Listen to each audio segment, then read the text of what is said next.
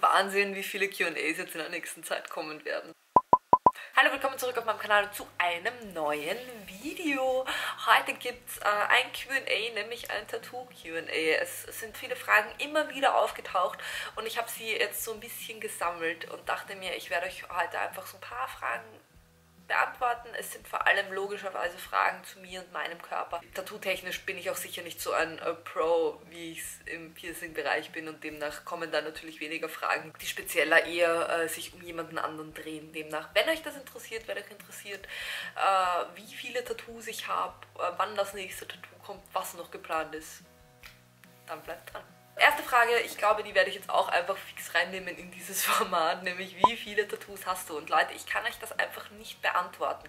Es ist halt wahnsinnig schwer. Ist mein Bein, mein äh, Sleeve, mein, mein Leg Sleeve, ist der ein Tattoo oder sind das viele Tattoos? Also ich äh, könnte jetzt schnell nachzählen, mehr oder weniger. Also ich habe äh, den Rücken, wobei auch da tue ich mir schon wieder schwer. Ist das eins oder sind das viele? Ich weiß es nicht. Also ich kann euch nur sagen, ich habe den äh, link, das linke Bein komplett fast komplett tätowiert. Ich habe am rechten Bein äh, vorne den Oberschenkel, unterm Hintern einen, ein Zitat und den Unterschenkel voll mit kleinen Zeug und Zitaten. Ich habe beide Füße voll, ich habe beide Handinnenflächen voll, ich habe den Rücken äh, mehr oder weniger voll, ich habe einen Underboob und ich habe auch an den Hüften noch so ein bisschen Kleinzeug. Und ich habe die Finger.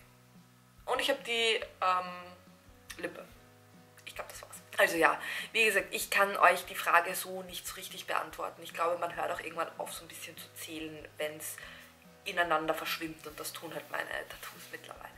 Wann kommt dein nächstes Tattoo und was wird es? Äh, mein nächstes Tattoo sollte Anfang Mai kommen. Ich hoffe, hoffe, hoffe, dass wir das äh, hinkriegen, äh, zwecks der momentanen Lage. Ich meine, es gibt absolut Wichtigeres, aber ich würde mich natürlich trotzdem freuen, weil ich einfach irgendwann mal gerne fertig werden würde.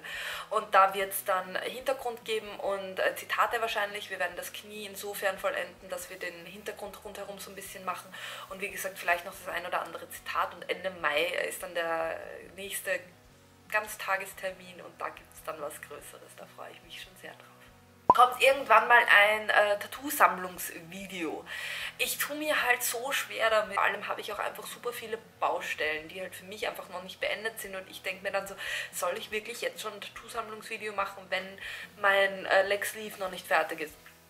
Oder ich den Rücken eigentlich noch überarbeitet haben will oder oder oder oder oder oder also ihr seht ich bin mir unsicher ihr könnt mir mal äh, gern runter in die Kommentare schreiben ob ihr Bock habt auf ein Tattoo-Sammlungsvideo jetzt schon oder ob ihr euch lieber noch ein bisschen geduldet und wartet bis die Baustellen zumindest beendet sind. Neue Tattoo-Pläne. Dazu gibt es ein eigenes Video. Ich werde es euch oben verlinken. Ich habe meine ganzen Tattoo-Pläne und Wünsche nämlich in einem Video extra für euch gesammelt. Das heißt, wenn ihr da Bock drauf habt, schaut vorbei.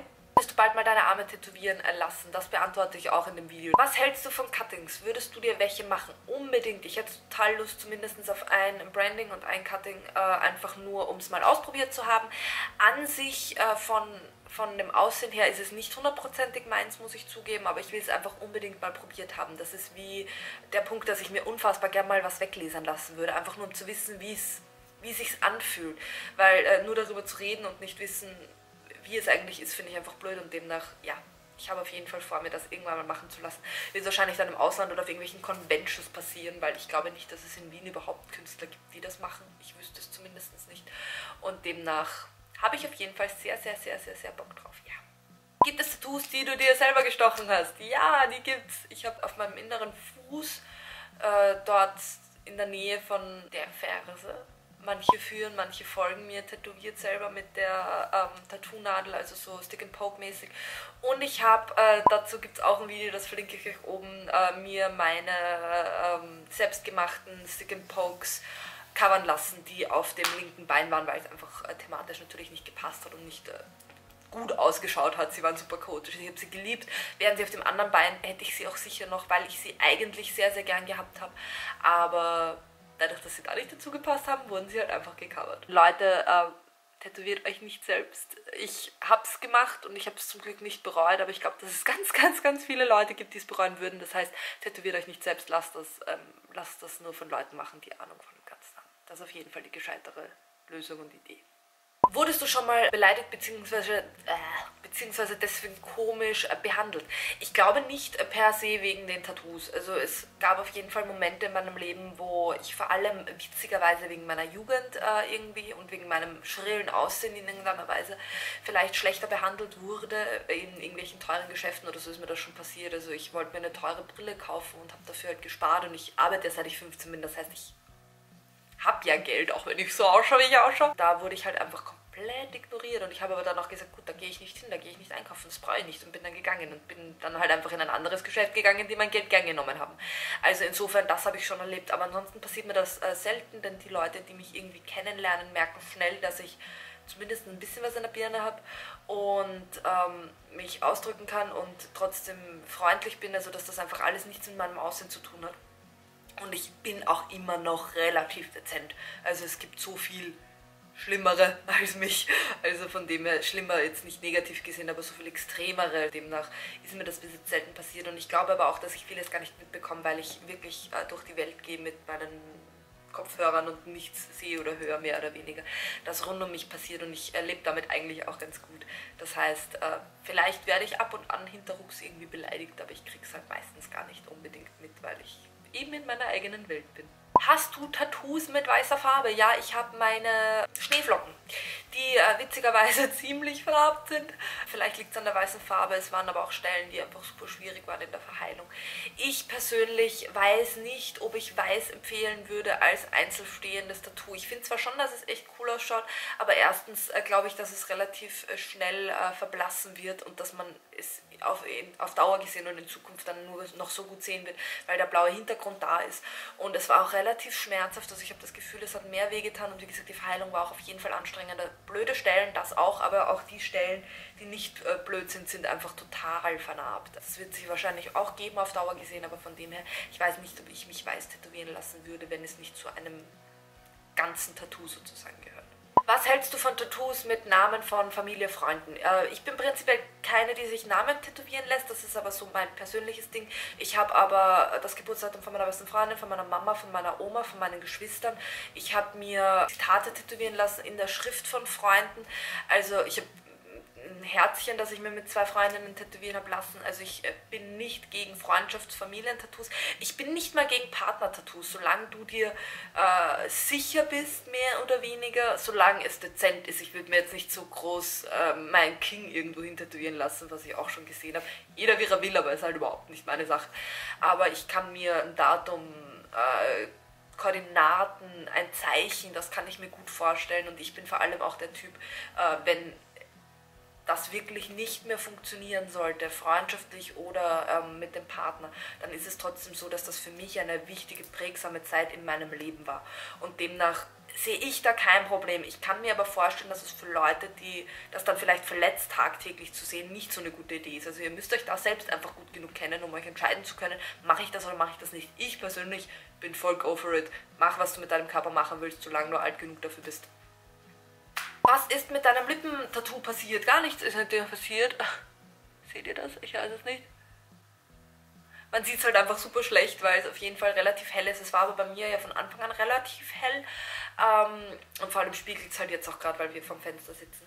Ähm, das Piercing ist schön durchgegangen, also das hat es auch nicht verletzt. Ich muss es nur jetzt irgendwann mal nachstechen lassen. Das werde ich sicher auch irgendwann mal tun, aber das hat mich halt jetzt bis jetzt noch nicht so ich habe es halt jetzt nicht unbedingt sofort gebraucht und demnach habe ich es auch nicht gemacht. Aber an sich äh, gehört das auf jeden Fall auch nachgestochen. Aber es ist noch da, nach über zwei Jahren.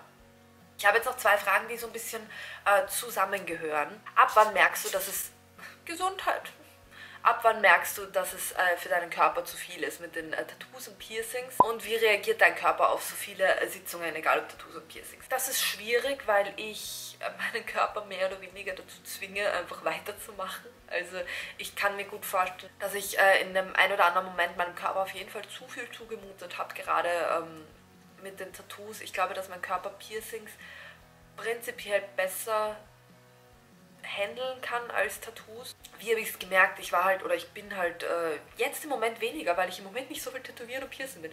Aber ich bin äh, relativ viel äh, krank gewesen, wobei das war ich davor auch schon immer wieder und das lag sicher auch am wenig Schlafen und Party machen etc.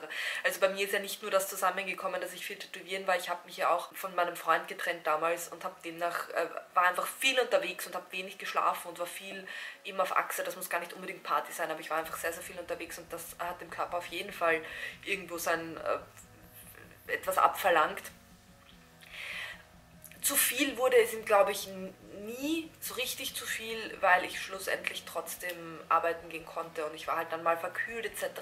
Ich will aber auf jeden Fall sagen, dass ich das niemandem empfehlen würde, dass in der ähm, Masse zu machen, wie ich das gemacht habe und vielleicht auch wieder machen werde. Schauen wir mal, ich äh, rede jetzt gerade groß, aber ich kann nicht versprechen, dass ich im Sommer dann nicht wieder äh, relativ regelmäßig gehe, damit ich halt einfach irgendwann mal fertig werde. Da geht es jetzt viel darum, dass ich halt irgendwann mal wirklich dieses Projekt beenden will und gleichzeitig aber auf meine Piercings nicht verzichten will. Also ich war im Durchschnitt für alle, die es nicht wissen, locker zweimal im Monat tätowieren und habe dann noch ein Piercing oben drauf bekommen oder vielleicht sogar zwei Piercings und das war halt dann zum Teil, ist es sicher zu viel für den Körper gewesen. Es hat sich auch ein bisschen insofern äh, herauskristallisiert, dass ich irgendwann mal nicht mehr richtig Bock hatte, tätowieren zu gehen und auch während dem Tätowieren das gar nicht so gut ausgehalten habe.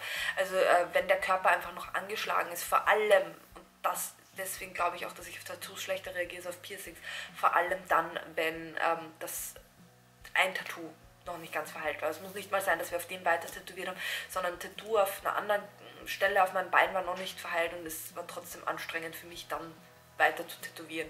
Äh, zwei, drei Wochen später. Also insofern lasst eure Tattoos ordentlich verheilen. Macht es nicht so wie ich und stecht euch vielleicht nicht noch zusätzlich drei Piercings, denn das ist nicht gesund für den Körper. Aber mein Körper hat es trotz allem, glaube ich, relativ gut äh, ausgehalten. Auch die Kathi meinte, sie findet es faszinierend, dass es mir so gut gegangen ist, trotzdem, was ich meinem Körper angetan habe. Das war's mit euren Tattoo-Fragen. Schreibt mir gerne weitere in die Kommentare, wenn ihr Lust habt, dass ich euch äh, nochmal ein paar Fragen beantworte. Äh, es kamen super viele Fragen zu Themen, wo ich eigenständige Videos drehen will, nämlich unter anderem, wie es eben vor dem ersten Tattoo ausschaut, auf was ich achten muss, welche Creme ich verwende etc. Aber da kommen dann einfach eigenständige Videos, weil äh, diese Themen einfach so groß sind, dass ich da jetzt die nicht noch reinquetschen wollte. Das war's mit diesem Video. Ich wünsche euch einen wunderschönen Tag und wir sehen uns beim nächsten Mal. Tschüss!